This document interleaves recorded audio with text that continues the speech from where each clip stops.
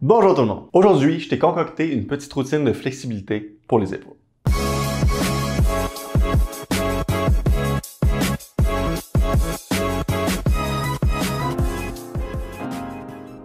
Premièrement, euh, si tu n'as pas écouté ma vidéo où j'expliquais certains concepts et types de flexibilité, je t'invite à aller écouter ma vidéo où je te parlais de tout ça. Euh, le lien devrait être ici, à quelque part. Suite à cette vidéo, j'ai eu plusieurs demandes pour une petite routine spécifique pour les épaules.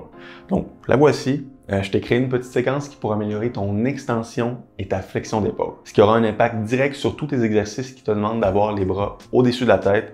Euh, donc, par exemple, pour améliorer ton, ton alignement pour le handstand et aussi pour tes dips et tes muscle-up il va y avoir deux parties. Donc, il va y avoir une partie que tu pourrais voir un peu comme un échauffement, euh, donc une partie préparatoire.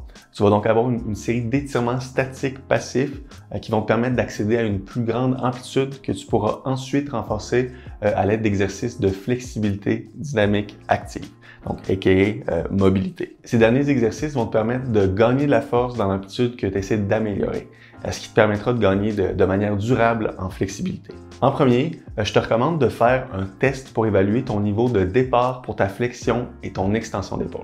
Pour évaluer ta flexion d'épaule, euh, place-toi dos à un mur avec le dos bien collé contre celui-ci. Ensuite, élève tes bras et essaye de toucher le mur avec le dos de tes mains. Fais attention pour ne pas avoir le, bas du dos qui creuse et qui quitte le mur. Tu le feras des deux côtés en même temps pour ensuite le faire un côté à la fois. Ça te permettra de voir la différence entre les deux côtés plus facilement.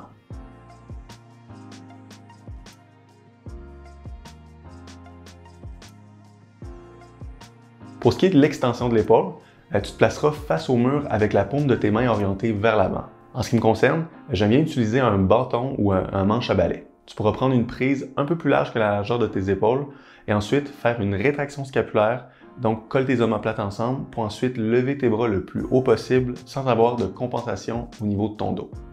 Donc garde le dos bien droit et les côtes bien rentrées.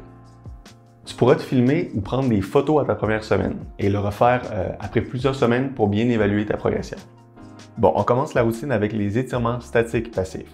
Pour les deux premiers exercices, tu vas avoir besoin d'une bande élastique et aussi il va falloir que tu trouves un moyen de l'accrocher sur quelque chose. En ce qui me concerne, je l'attache sur mon espalier, mais si tu n'as rien chez toi qui te permet de faire ça, tu utiliseras une porte. Tu auras seulement à accrocher un bout de l'élastique après un objet qui empêchera l'élastique de passer en dessous de la porte. Les deux premiers étirements vont venir s'adresser à la rotation interne et externe de l'épaule. On va commencer avec l'étirement en rotation interne. Donc dans cette position, tu vas étirer le petit rond et l'infraépineux, euh, deux muscles qui sont impliqués dans la rotation externe de l'épaule. Pour te mettre dans la position, tu vas vouloir passer l'élastique en dessous de ta jambe et ensuite placer la bande élastique au niveau de ton poignet. Je ne sais pas pourquoi je l'ai placé sur ma main pendant que je filmais, euh, mais place-la sur ton poignet, ce sera plus confortable. Ensuite, il te restera seulement qu'à placer ton coude sur ton genou. Tu pourras ensuite t'éloigner du point d'ancrage pour accentuer l'étirement, mais ce sera vraiment à toi de choisir la bonne intensité. Euh, tu vas être capable de relaxer dans la position sans ne jamais aller dans la douleur. Et la chose la plus importante sera de garder ta scapula bien stable. Donc abaisse bien ton épaule pour éviter de l'avoir projetée vers l'avant. Reste 60 à 90 secondes dans la position pour ensuite faire l'autre côté. L'étirement suivant sera pour la rotation externe. Donc, on va étirer dans cette position le subscapulaire et le grand rond, deux muscles qui sont rotateurs internes de l'épaule. Les consignes seront les mêmes que pour l'autre étirement, euh, sauf que tu devras avoir le bras orienté vers le haut avec la paume de ta main orientée vers l'avant. Contrairement à l'étirement en rotation interne, euh, tu pourras garder l'élastique dans la main au lieu de le placer sur ton poignet.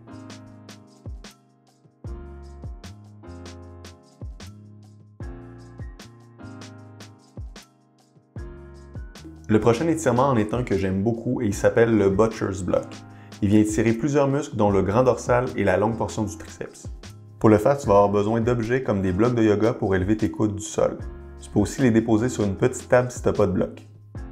Je te recommande aussi de placer un objet entre tes mains pour te permettre de rester en rotation externe au niveau de l'épaule. En faisant ça, euh, tu vas maximiser l'étirement au niveau du grand dorsal. Et un autre point important euh, qui va rendre l'étirement plus efficace, ce sera de garder toujours les côtes bien rentrées et de ne pas arquer ton dos.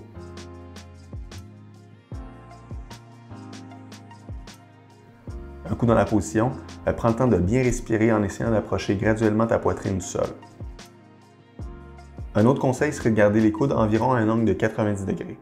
Parce que plus tes mains seront proches de tes épaules, euh, plus l'étirement sera au niveau de tes triceps. Tu resteras entre 60 et 90 secondes dans la position avant de passer à l'autre étirement.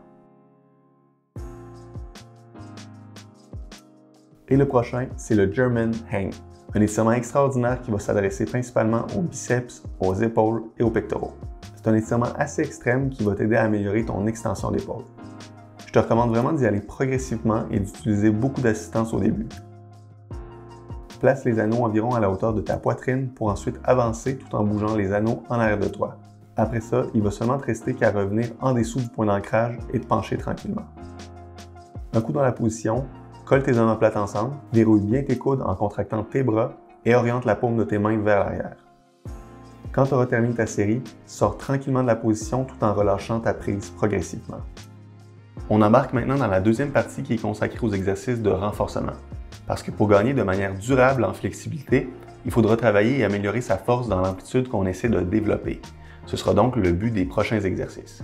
Pour le premier exercice, tu vas avoir besoin d'un haltère ou de quelque chose qui pèse aux alentours de 10 livres.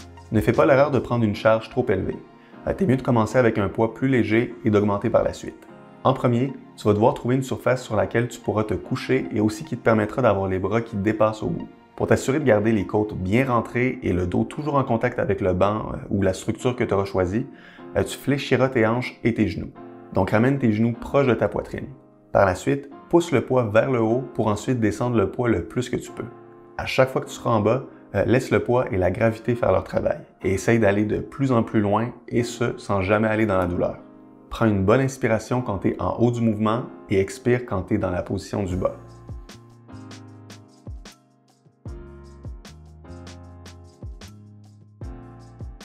Le prochain exercice va améliorer ta flexion d'épaule et en particulier ta force en fin d'amplitude.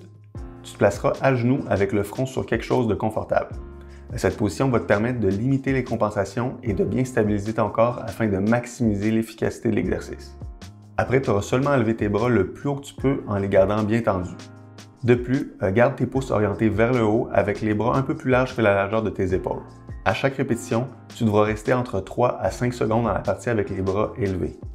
Quand ce sera facile, tu pourras rajouter un peu de poids à l'exercice, mais je te garantis que même sans poids, tu risques de trouver ça difficile.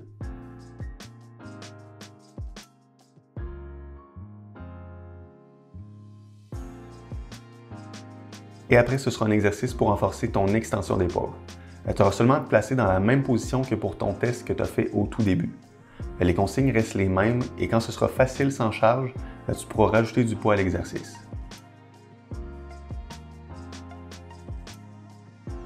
Pour les deux derniers exercices, tu les feras en alternance. Donc tu fais une série de l'exercice pour ta flexion d'épaule et tout de suite après, tu fais une série pour ton exercice d'extension d'épaule et tu répètes ça pour deux à trois autres fois. Pour ce qui est de la fréquence, euh, vous pourrez faire la routine complète une à deux fois par semaine. Euh, cependant, si vous avez une grosse lacune en flexibilité au niveau des épaules, euh, ma recommandation serait de faire les exercices de la première partie, donc les étirements statiques passifs, plusieurs fois par semaine.